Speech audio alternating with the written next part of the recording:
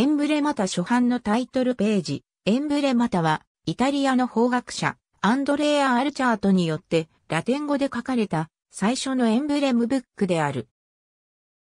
1531年の初版以降、16世紀だけで、少なくとも100以上の版を重ね、19世紀までに、さらに100近い版を上乗せするという、近世ヨーロッパのベストセラー作品となった。なお、エンブレマタは、エンブレムを表すギリシア語の複数形である。この本のタイトルは複数あるが、一般的にはエンブレマタで通用する。エンブレマタ初集のエンブレムの一つ子の場合のエンブレムとは、木版画によるグーイズ、対応するメイク、普遍するテクストの3点が一体となったものを言う。テクストは普通音文である。渦で言うなら、インデオリタンダムとあるのが、メイク、真ん中がグーイズ、下の6行詞がメイクとグーイズの関係を解き明かすテクストである。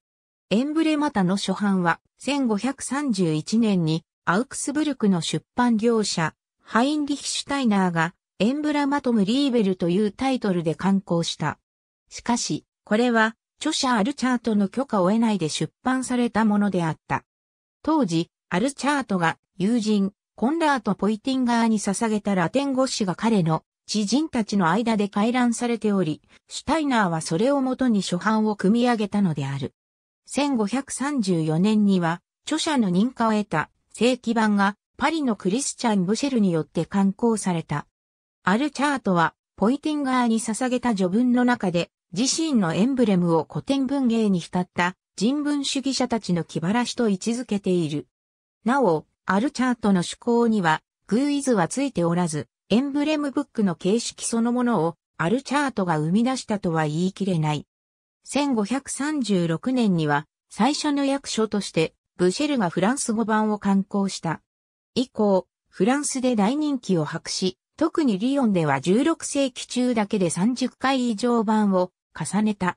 これはバルテルミーアノー、ギヨーム・ド・ラペリエールといったフランスのエンブレム作家の出現を促すものでもあった。また、人気はフランスだけにとどまらなかった。19世紀の書史学者、ヘンリー・グリーンは16世紀に出されたエンブレマタの版を127点もリストアップしている。ここにはラテン語版、フランス語版のほか、イタリア語版、スペイン語版、英語版なども含んでいる。こうした人気を反映して、エンブレマタ初集のエンブレムも増えていき、当初112点だったエンブレムは増法を重ねて200点を超えた。上記の通り、再販が非常に多いため、以下は主要な版の断片的紹介にとどまる。ありがとうございます。